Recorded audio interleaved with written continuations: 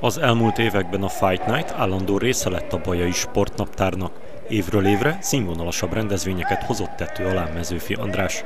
Az utolsó három alkalommal az MNAMK sportcsarnokában gyűltek össze a harcosok, hogy egy egész estés gála keretében szórakoztassák a közönséget. Az idén összesen 14 mérkőzést rendeztek, melyek közül az első hét bemutató összecsapás volt. A hét főmérkőzés között kapott helyet Tukacs Fanni ütközete is, aki nem hagyott kétséget afelől, hogy ezen az estén az ő kezét emelik a magasba. A combrugásokat, azokat nagyon húzgáltam, akkor próbáltam így ilyen erősebb, jobb technikát alkalmazni. Fanni győzelme ösztönzőleg hatott a többi bajai harcosra.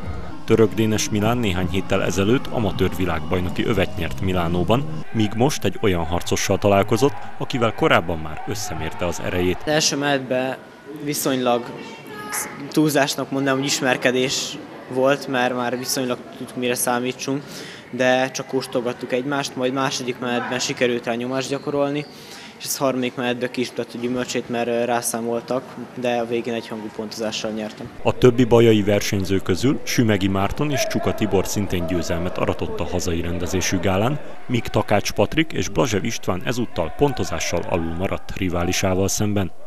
A harcosok teljesítménye mellett a Bajai Egyesület a kifogástalan rendezésre is büszke lehet. Az este folyamán, eh, ahogy visszajelzéseket kaptam, illetve a, ahogy befejeztük most a, az alkalmat, eh, a gálát, oda jöttek hozzám és azt mondták többen, hogy egy, egy nagyon jó eh, hangulatú, felfokozott hangulatú verseny volt, ahol nagyon jó mérkőzések zajlottak, és ezeken a mérkőzéseken legnagyobb részt megelégedettséggel töltötte el mindazokat, akik az ország, illetve külföldről jöttek. Mezőfi András és fia Richard ötödik alkalommal rendezte meg a Bajai Küzdősportgálát, így van lehetőségük a fejlődés értékelésére is. Én úgy látom, hogy, hogy minden évben mi is fejlődünk, ahogy az harcosok emberek is, akik jönnek hozzánk.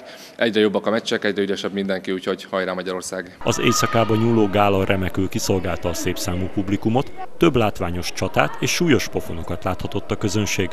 A bajai harcosok a hazai versenyt követően sem pihennek, hiszen a következő hétvégén már egy országos bajnokságon bizonyíthatnak majd.